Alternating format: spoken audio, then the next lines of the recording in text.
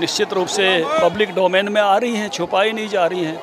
और जो भी उनके अपराधी हैं, निश्चित रूप से मुझे लगता है कि जो भी कोई गलत करता है, अगर देश में पारदर्शिता बरतनी है, देश को नियमों पर चलाना है तो गलत करने वालों को निश्चित रूप से दंड देंगे, तभी चीज़ें ठीक होंगी। हमारे बहुत सारे साथी कर्नाटक चुनाव में गए हुए हैं, तुमकर उसके आसपास की सीटें हमने संभाली हुई हैं, रिपोर्टें बहुत अच्छी हैं।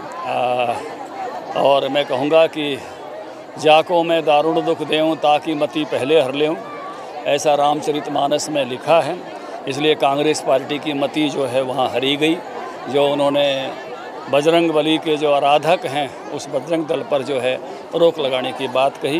पूरे समाज में बड़ा भारी रोष है। ज्वाइंट लाइबिलिटी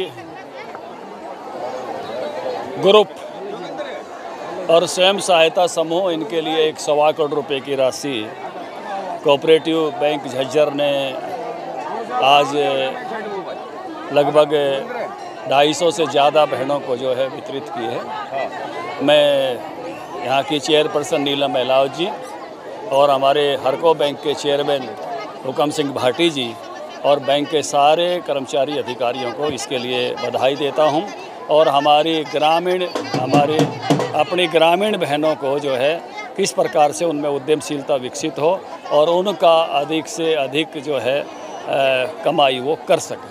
कर्नाटक चुनाव है शब्दों से शब्दावली से भाषा से निश्चित रूप से उसकी निंदा करेंगे। है ना? ये नहीं है कि कोई हमारे आराध्य देवताओं को यही कांग्रेस पार्टी थी जिसने इतने दिनों तक राम मंदिर नहीं बनने दिया और जिन्होंने हमारे पूर्व तीर्थों का पुनरुद्धार नहीं होने दिया। सोमनाथ का पुनरुद्धार हुआ तो नेहरू जी ने जो है जाने से रोका राजेंद्र प्रसाद को चिट्ठी लिखी वो उसके बावजूद भी गए सरदार पटेल ने कराया। जो अच्छा करेगा तो अच्छा कहेंगे और बुरे कहेगा तो बुरा कहेंगे शब्दों के माध्यम से ये उनको सुनना पड़ेगा। इस नाते से वो, वो निंदा भी ना करें हम। शब्दावली में भी उनको ना कुछ कहें ऐसा नहीं हो सकता। इसलिए सबको संयम रखना चाहिए भारत की संस्कृति के बारे में बोलते हुए भारत के आराध्य देव के बारे में बोलते हुए उनके आस्थावान समूह के बारे में बोलते हुए। की गिरफ्तारी को लेकर खाप पंचायत पंद्रह दिन का अल्टीमेटम दिया है। कल संयोग से मेरे साथ खेल मंत्री जी थे अनुराग ठाकुर जी एक कार्यक्रम में।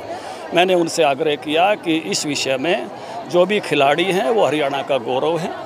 और उनको न्याय मिले। जिन बहनों ने शिकायत की है उनको न्याय मिले। मैंने उनसे व्यक्तिगत रूप से आग्रह किया है। दिल्ली में शराब घोटाला सामने आया था। अब छत्तीसगढ़ में भी शराब घोटाला सामने सत्य सटीक बेबाक।